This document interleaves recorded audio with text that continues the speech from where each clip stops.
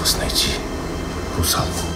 Что ты знаешь о Брюсовой русалке?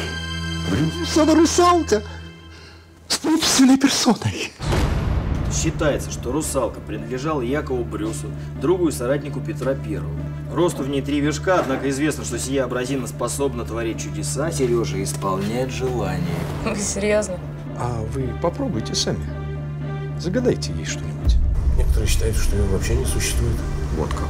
Но у меня есть все основания предполагать, что эта русалка как раз находилась в доме Зильберта в день ограбления. Ему бы следовало опасаться не грабителей, а коллег. В первую очередь тех, кто сделал научную карьеру на мифе о развенчании Брюсовой русалки. Если узнать, что русалка существует, они потеряют все, Серег. Он действительно нашел эту Брюсову русалку. Это, это мировая сенсация. Вы можете стать вторым Шлиманом. За последний год пять эпизодов с промежутком в 2-3 месяца и пять жертв. Огнестрелы всех застрелили из Макарова, ничего ценного не пропало. Зильберт, Ланской, Осиков, Фролов и Акимов.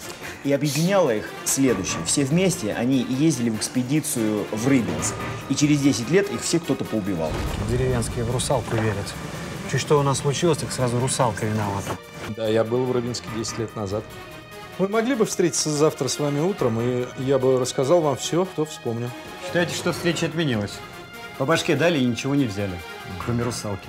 Какой русалки? У нас нет ни свидетелей, ни фактов. Зильберт вел записи. Он каждый вечер что-то записывал, ну, вроде отчета за день. Мне только что принесли расшифровку записей покойного Зильберта. Мне кажется, что вам это надо срочно увидеть. Кто убил Зильберта? Кто? Вы? Ваш любовник? Ваш муж? Кто это сделал? Где русалка?